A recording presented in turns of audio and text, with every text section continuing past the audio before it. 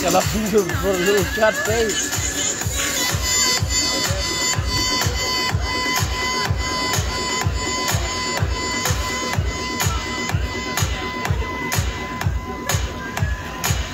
Okay, here they come, the top qualifiers, just getting themselves set up. We'll reset that clock on stand two.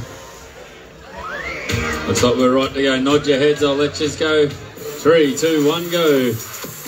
Blake on one, Davies on two, throws the wall there on stand number two, the top qualifier. You think, yes, he is. Come on, boy! Neck and closely followed him goes Lake. Lake on number one there, 12, 13, 14 seconds on the clock and starts to work Oh, yeah! that area. That's where you see them. They start to hit there and now. Come on. Michael!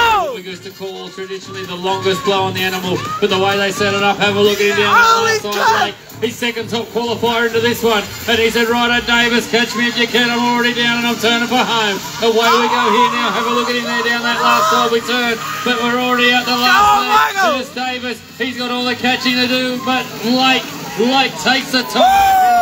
Woo! 41.62. Ouch!